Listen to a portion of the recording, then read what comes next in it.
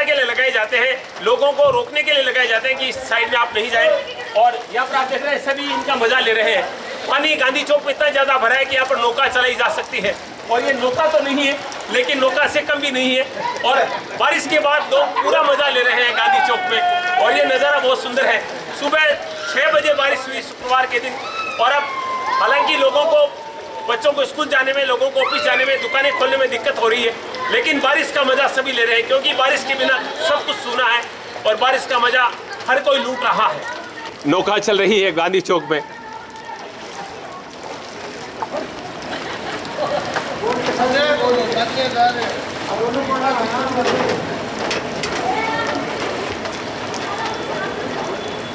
अंदाज भी खूब निराला है नौकायान करने का, आप देख रहे हैं। कोई चप्पू लगाने की ज़रूरत नहीं, अपने आप चल रही है। क्योंकि अच्छा खासा पानी गांधी चौक में भर जाता है।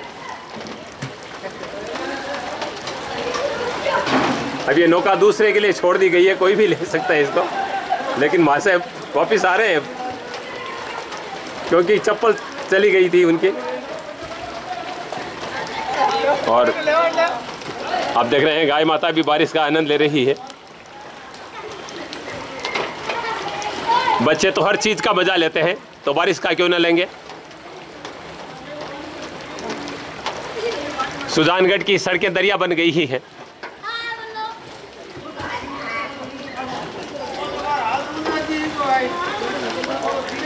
पानी दुकानों में चला गया, आप देख सकते हैं।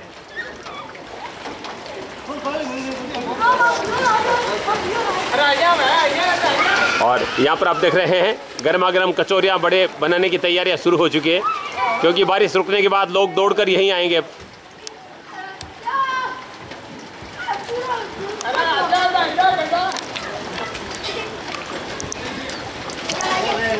पूरे गांधी चौक में पानी भरा है। दुकानें खुलने लगी है अब।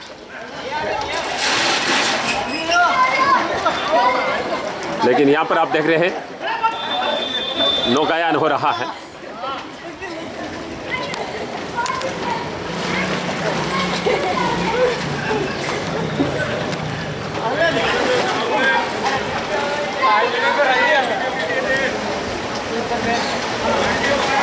ये देखिए बच्चों की मस्ती।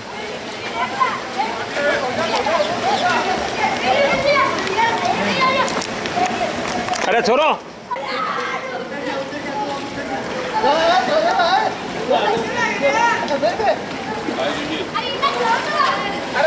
ये देखिए, बारिश के बाद में मस्ती करी जा रही है। क्या बात है। सभी बच्चे बन गए हैं, आप देख सकते हैं। क्या बात है। इसको कहते हैं बारिश के बाद का मज़ा।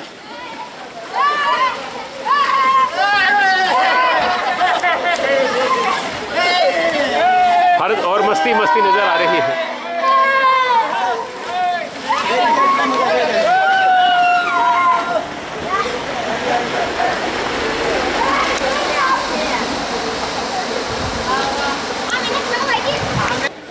इतना मज़ा तो नदी में भी नहीं आता होगा।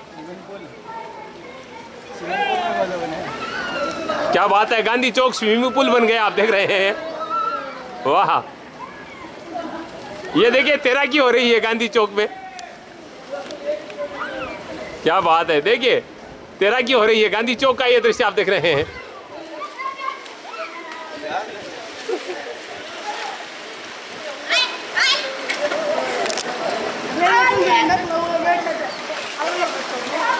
के बाद की मस्ती आप देख सकते हैं। पानी कितना आप देख सकते हैं गांधी चौक में?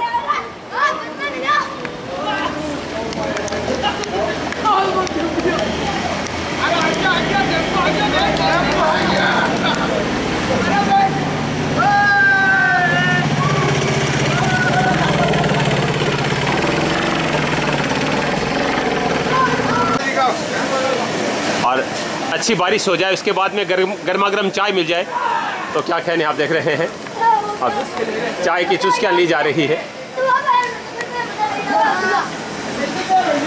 और यहाँ पर आप देख रहे हैं, कचौरी के लिए इंतज़ार करना पड़ रहा है। कचौरियाँ बन रही है, क्योंकि जब बारिश होती है, उसके बाद में पकौड़े, कचौरी, समोसे खाने का मज़ा ही और होता है। आप देख रहे हैं, ये कचौरियाँ बन रही है।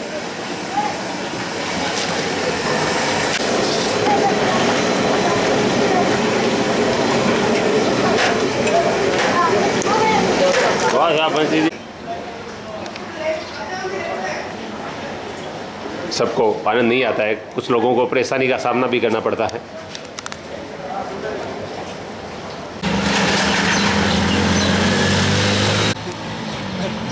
देखिए, मोटरसाइकिलें पटरियों पर चल रही है आज।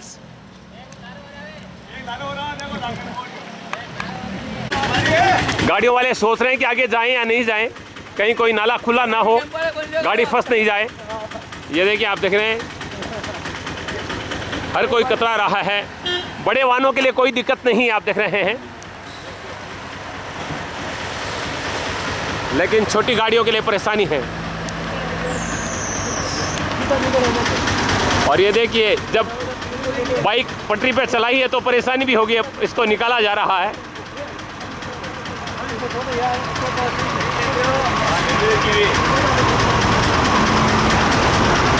ये काम इतना आसान होता तो ट्रेनिंग पटरी पर नहीं चलती, सब वहाँ नहीं चलते।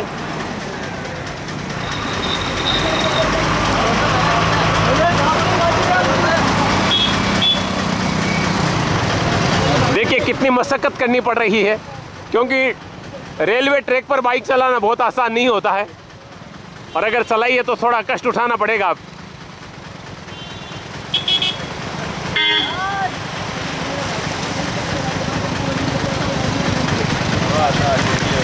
बारिश के बाद में लोगों का संघर्ष आप देख रहे हैं।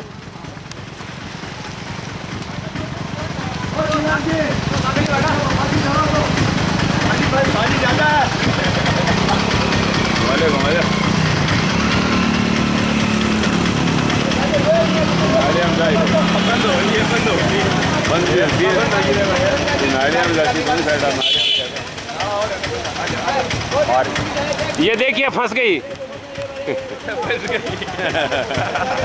कुत्ती काले में फंस गई है। बाजी नालो फुल्लो ये था सुजानगढ़ से मेरा खास कार्यक्रम, जहाँ आज से इस मौसम की सबसे अच्छी बारिश हुई। लगभग डेढ़ घंटे की बारिश से पूरा सुजानगढ़ पानी पानी हो गया, पूरे मार्केट में पानी भर गया। हरिजन बस्ती में लोगों को काफ़ी परेशानी का सामना करना पड़ा। घरों में पानी घुस गया और एक स्कूल की दशा भी हमने आपको बताई। और इस कार्यक्रम के बाद मैंने एसडीएम उपखंड अधिकारी दीनदयाल बाकुलिया जी से बातचीत की। उन्होंने निश्चित रूप से कहा कि हम हरिजन बस्ती का दौरा करेंगे। जो समस्याएँ लोगों को पहली बारिश के बाद हुई है, उनसे निजात दिलाने का पूरा प्रयास करेंगे। ऐसे सुधार के लिए मैं शिव कुमार तिवारी विवेक तिवारी के साथ आप सबका धन्यवाद। नमस्कार।